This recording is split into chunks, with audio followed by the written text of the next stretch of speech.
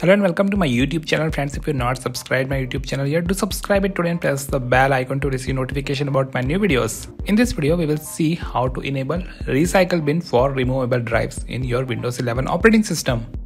So by default, removable drives such as USB drives and memory card do not have a recycle bin on Windows and when you try to delete an item located on these removable drives, you get a confirmation prompt and after that if you select yes the item is permanently deleted because there is no recycle bin for removable drives. Let me show you this with an example.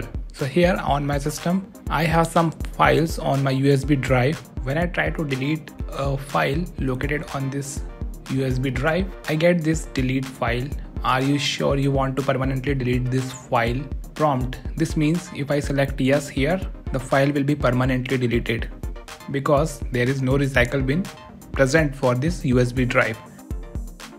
And in case if I delete a file that is located on the operating system drive, which is a fixed data drive,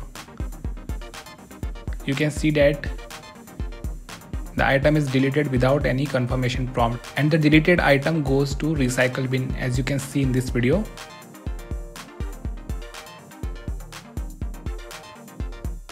So here we will restore this deleted item and we will enable the recycle bin for USB drive so that the deleted items from USB drive comes directly to this recycle bin. So how to enable recycle bin for removable drives? Let us see. First of all, right click on the start button and select run. In run, type regedit and click OK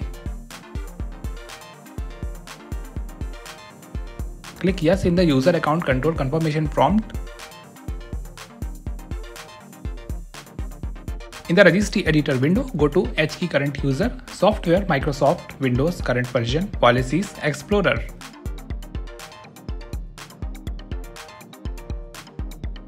In the right pane of Explorer registry key,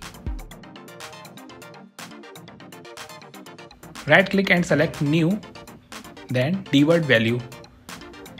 Name this newly created registry dword as recycle bin drives. Double click on this recycle bin drives named registry dword and set its value data to 8 times f letter. So far we have created this registry dword for a current user. Now you have to create same for the local machine and for this we will right click on the explorer registry key and select go to H key local machine. So we are now in the local machine branch and in the right pane of Explorer, we have to create same registry dword as we created with H key current user.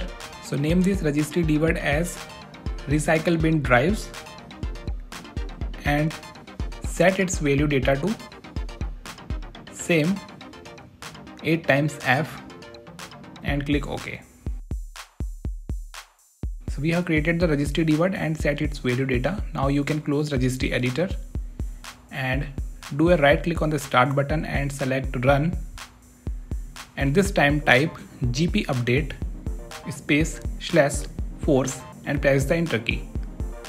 In few seconds you will find that computer policy update has completed successfully. Close this window and now try deleting a item from USB drive. And you will find that this time the item is deleted and goes directly to the recycle bin. And there is no confirmation prompt appearing now. We will check in the recycle bin.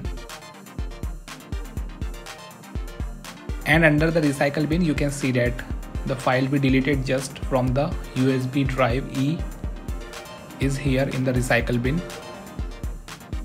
Now we will try with the another file and see if it works in the same way. So you can see that the item has been deleted and there is no confirmation prompt. That means the item is not permanently deleted and it now goes to the recycle bin as you can see in this video. So in this way we have enabled the recycle bin for removable drives such as USB drive and memory card. If you want to customize the recycle bin size for the USB drive, you can right click on the recycle bin icon present on the desktop and select properties. On the property sheet, select the USB drive.